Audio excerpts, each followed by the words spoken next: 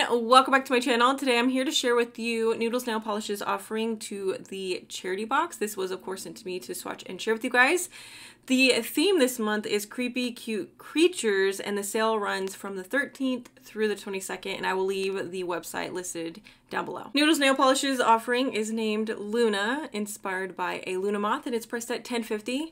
It's described as a purple crelly with lime copper blue and green teal blue color shifting flakes, hollow flakes, and gold violet blue and lime glitters. I found the formula super easy to work with. This is one of those polishes that's definitely on the thick side. Where you place it is where it stays and I like that. Um, I went ahead and applied two coats. I didn't really feel there was a need to apply a third coat. In some areas, I probably could have used one to cover up my nail line, but I don't mind seeing a little nail line. So two to three coater, depending on your application style and of course your nail length. This is definitely going to need some top coat to smooth out all of the flakies and the glitters. There's just a lot going on in this. Like I said, it is a thicker polish. Um, and of course, the glitters do make it difficult to remove. All right, you guys, that is it for me. I will the shop down below, the dates, all of the information that you need. I hope you guys enjoyed this video and I will see you in my next one. Bye!